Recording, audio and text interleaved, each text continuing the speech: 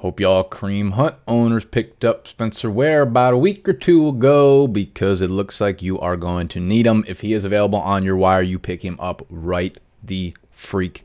Now, it's your man's Nicholas. Big Dogs got to eat fantasy football from the HQ. A little bit of different setup, but I wanted to get this video out quickly because we just saw this video surface of Kareem Hunt beating down some girl in the lobby of a hotel. If I'm ever going to expect to see a video like that surface, it's always in the lobby of a hotel. When are y'all going to learn? It doesn't look good. Huge, huge, huge, huge piece of shit move by Kareem Hunt. You see him in this video, which I think I'm going to put on the side of here. Um, I'll only put some of the highlights of it, but I'll put the full video via TMZ in the link in the description down below if you want to watch it. You see him pushing a girl with, you know, like full extension. You see him pushing his friend into a girl and they both fall on the floor. And then you see him kind of running back to go kick her when she's on the ground. I don't know what the fuck's wrong with this guy. I don't know why you would ever, you know, kick someone when they're on the ground, let alone fucking hit a woman. Anyways, I'm not here to talk about that. We're here to talk about fantasy football. Spencer Ware is obviously his backup.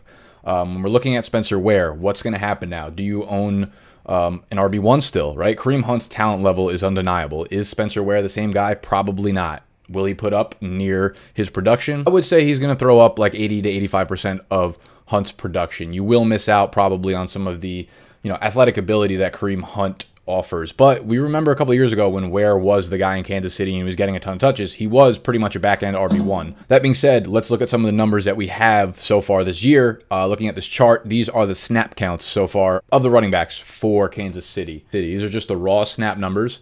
On the top, you can see each week. So W01 is week one, and then all the way up to week 11. Basically, we're seeing that Kareem Hunt has a high, high, high majority of the snaps.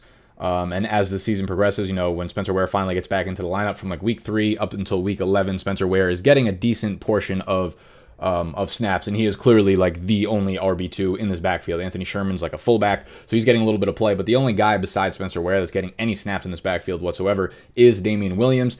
And when we look at some of the uh, the touch counts, right? So I added up kind of the numbers in that entire backfield. Kareem Hunt accounts for 81.2% of their 255 backfield touches on the season. Spencer Ware has like 14 to 15% of the remaining. So them two basically make up all of the touches.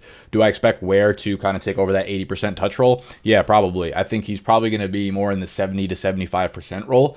Um, maybe even higher. They might sign someone off free agency. I don't really know how this is going to work. We don't even know if he's going to get suspended, first of all, but the video looks really, really, really bad, really incriminating on Hunt's point of view. It's it's not like any question as to whether she hit him first and then he retaliated. It's clearly like she never swung at him, she never struck him. looks really bad for Kareem Hunt.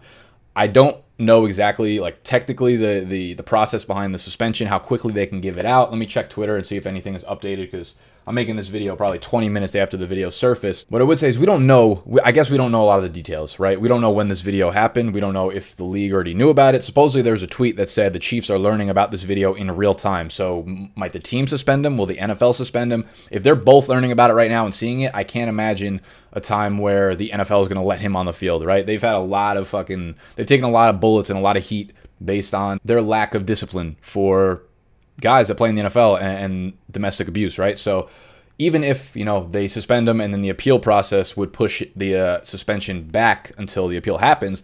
I mean, I, am pretty sure they could still put him on the exempt list, right? What, what, we saw with Adrian Peterson. So, in my eyes, and I have no idea about it, in, in a half hour, this could change. So, I might just be talking bullshit right now, but I'm a doctor, so take my word for it. I think Kareem Hunt is not going to see the field again in 2018. Ware is yeah, I think it's a back end RB one. So if you're able to pick him up off your wire right now, you're you're getting a fucking you're it's a heaven send for you entering the fantasy playoffs. If you backed him, if you backed up Hunt with Ware, that's huge for you um, as insurance. They play Oakland this week, right? So that's going to be a monster game for Ware. My DFS video that's going out tomorrow was like fucking touting Kareem Hunt. You got to get him on in all your fucking lineups. He's going to win you a million dollars. Now he's going to lose you a million dollars if you are in fantasy football. Season long leagues. Plays Baltimore at home in the following week. Chargers at home the following week, and then at Seattle for your fantasy football playoff. So it's a pretty rough schedule over the next three games outside of Oakland this weekend. So if Ware is in the lineup and Hunt is out of the lineup, you're probably looking at you know more high end RB2 numbers just because the volume is going to be so high. And this is a, a, fantastic offense, of course. So don't discount that just because it's Ware and it's a hard schedule. It's still Patrick Mahomes, Kansas City Chiefs. I think that's all really I have to add until we hear any more news about it. So I am I am definitely thinking that he is going to be suspended quickly. I don't know. It's going to be a little bit crazy, so keep your eye on it. Make sure you grab Ware if he is available. Spend all your fucking FAAB budget if you can. If you have any left at this point in the season, I don't know what the fuck you've been doing if you do. That's it. Just want to give you a quick update from the HQ. Make sure you're following me on all the social medias. Uh, make sure you subscribe if you're new to the channel. We're breaking down fantasy football stuff all year long, all summer long. We out.